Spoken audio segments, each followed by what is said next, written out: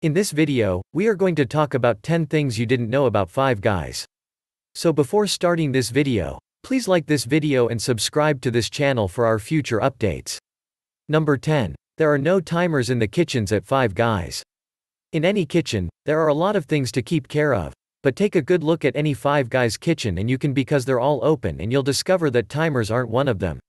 The explanation for this is simple, according to founding father Jerry Murrell who told NBC News that competent cooks know when a burger is done.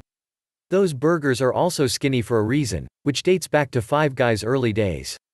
The initial burgers they tried were thicker, but due to the prolonged cooking durations, they dried up before they could be served. Thinner burgers provided them with the flavor and texture they desired, thus thinner burgers it will always be. Number 9. Five Guys refuses to deliver, even to the Pentagon. Receiving a phone call from the government to place an order would send any eatery into a frenzy, but Murrell refused to deliver 15 burgers to the Pentagon when Five Guys received the call. He told QSR, We've never had a delivery service. We don't think it's true. We believe it devalues the product. They not only refused, but also displayed a large banner outside their Arlington location that read, Absolutely no delivery. Risky? Yes, absolutely. The Pentagon's 26,000 employees made up a significant portion of their clientele, yet it worked. According to reports, business from the Pentagon increased by roughly 20% as a result of their rejection, and President Barack Obama reportedly paid a visit in 2009. When a Five Guys employee offered mailing the new president a t-shirt after he was sworn in, Murrell flatly declined, exclaiming, that's cheap. Image courtesy of NBC News, Obama, it turns out, Wanted a burger rather than a shirt, because he turned there anyhow. Number 8. Haters hate the buns, but Five Guys went to insane lengths for them. If there is ever a complaint about Five Guys, it is generally about the state of the buns. They're a little squishy, but that's by design. According to NBC News, the buns were from Brenner's Bakery in Alexandria, which was a favorite of Murrell's wife Janie. They created an eggier, sweeter bun for the new restaurant, and when they closed, Five Guys began creating their own buns. They couldn't maintain creating the same sweet buns in their small bakery as they grew, so they started contracting out, with Murrell's youngest son, Tyler, overseeing some very stringent regulations. Those buns, according to franchisee owner Tom Horton, are a huge expense. Those who adore them, on the other hand, will find that they are well worth the effort. Number 7. There are a few secrets to how Five Guys gets their french fries right. Five Guys, According to Chad Murrell, via Food Republic, receives all of its potatoes from Idaho, and only from north of the 42nd parallel. They buy so many that they account for 5% of all potato sales in the state. They only use Washington state potatoes for two months of the year, when the growing season requires it. They give the raw potatoes a 3 minute power wash after hand cutting them to remove the excess starch. They're pre cooked for 2.5 minutes before cooling for 10 minutes to several hours. They're finished in the fryer for another 2 or 3 minutes after they've been ordered, shaken off exactly 15 times, and presented to the diners. Chad also claims that they use peanut oil to try to make their fries healthier, but that the quantity they serve is what drives up the calorie count. If you have an excess of fries, Chad recommends taking them home and turning them into hash browns. Number 6. Five Guys is notoriously unhealthy, but you can find less intense options. If you're searching for a healthy lunch choice, no one in their right mind recommends Five Guys. Their bread alone has 260 calories and 9 grams of fat, according to their nutritional statistics. However, there are a few healthier alternatives, and the Washingtonian looked into what your best options are. If you're not in the mood for a hamburger, try their veggie sandwich. It's not a veggie burger, but it's a grilled bun with their vegetable toppings, such as mushrooms and peppers.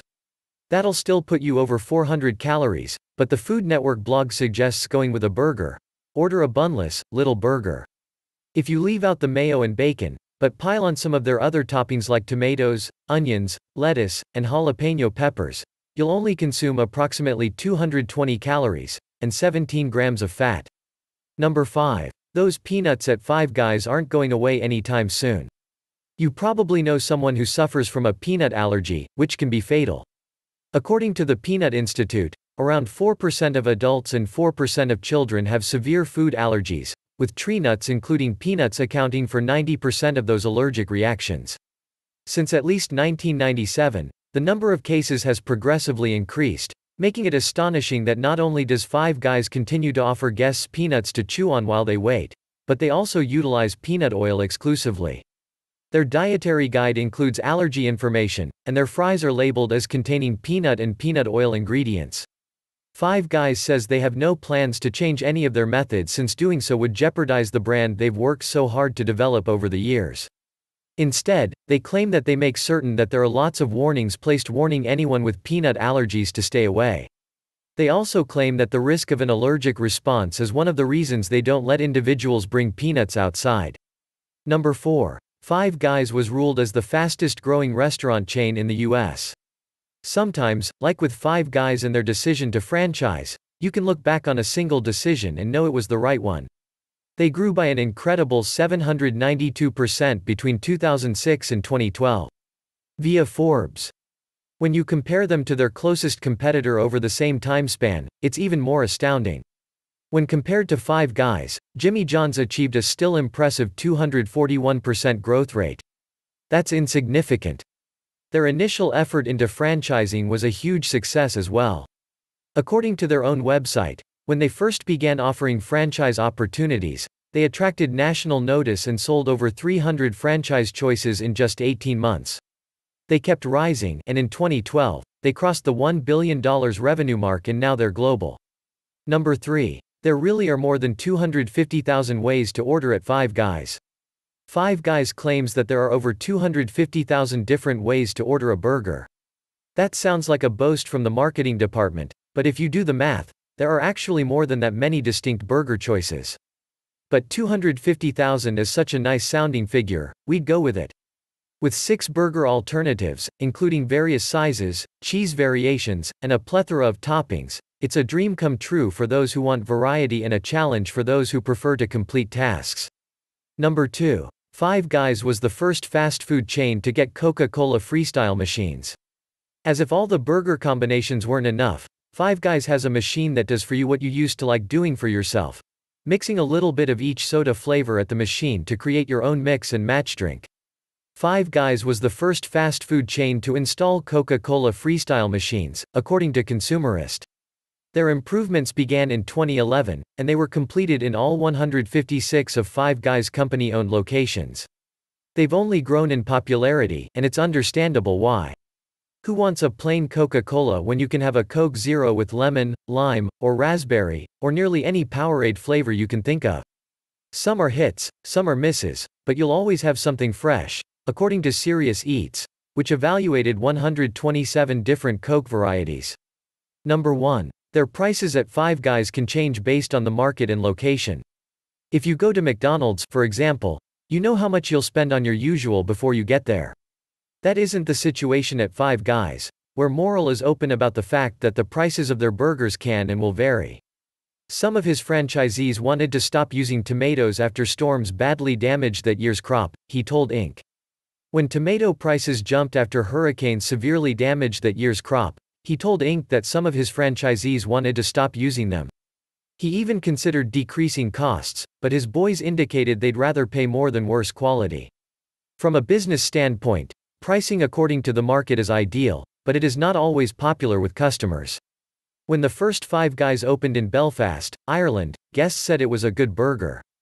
But it shouldn't be several dollars more expensive than the same burger in America. Five Guys justified the price increase by blaming the cost of ingredients and the fact that UK pricing contain a 20% surcharge. In a 2015 study by Business Insider, their American customers said the same thing, with millennials in particular stating their burgers weren't worth the money. What do you think about our video? Let us know in the comments below. If you enjoyed this video and want to hear from me again, be sure to hit that subscribe button and turn on notifications before you go. Thanks for watching.